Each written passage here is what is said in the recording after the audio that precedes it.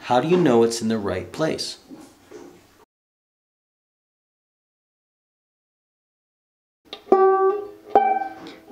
This should be one octave higher where the, the two lines are on your banjolele. And it should also be exactly the same distance from here to here as it is from here to the bridge.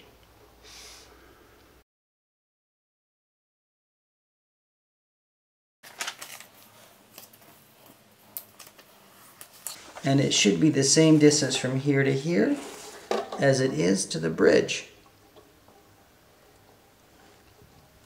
And that will let you know that your bridge is in the right place.